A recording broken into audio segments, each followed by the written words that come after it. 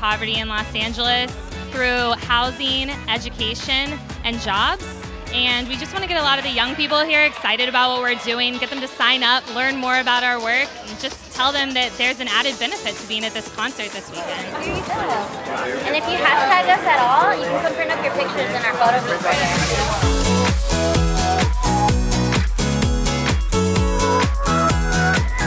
This is a, a, wise idea to bring United Way into something that is part of, I mean, this is youth culture, and this is like where a lot of the movement is happening now. So you really want to tap into this energy, and you, especially with music, with the demographic of diversity, I think it's just a great platform to push out the United Way message.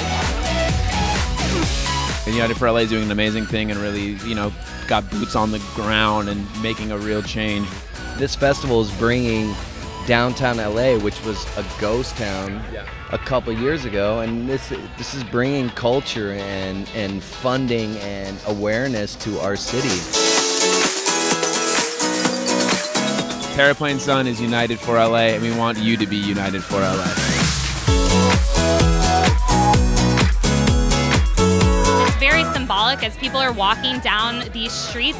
These are the same streets that people are sleeping on at night these are the same schools that we're walking past where only 60, 70% of kids are graduating from high school.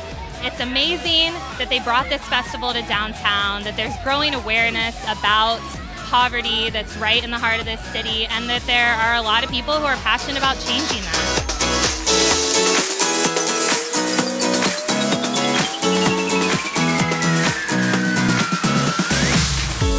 What's up? I'm Steve Aoki and I'm United for LA. I'm Iggy Azalea and I'm United for LA. What's up? My name is Rome and I'm United for LA. I'm Hit Boy and I'm United for LA. I am Spencer Ludwig and I'm United for LA. Hey, we're Terraplane Sun and we are United for LA. So don't forget, hashtag United for LA. Hashtag United for LA.